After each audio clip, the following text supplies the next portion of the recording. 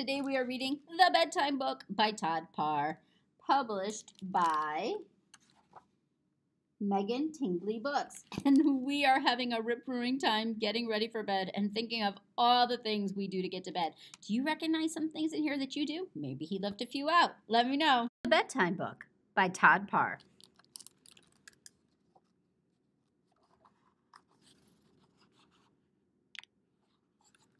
It's time for bed. Quiet, do not disturb. Good night. But no one is ready for bed. The puppy has to brush his teeth. The narwhal needs to take her bath. The raccoon has the hiccups.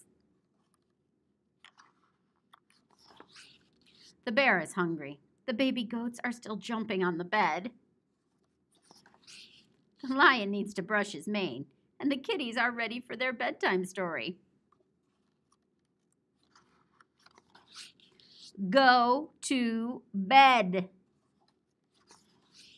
But the pig found a giant spider in her room, and the hippopotamus can't find his pajama bottoms. The elephant heard a noise in the closet, and the beaver has a toothache.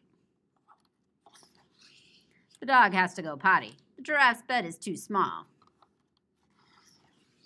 The skunk is thirsty, and Mr. Biggles the bear is missing. Who cares? Go to sleep. But the sheep are still counting sheep. A fly is keeping the cow awake. The bear has a tummy ache. The hamster can't stop running, and the polar bears are chilly.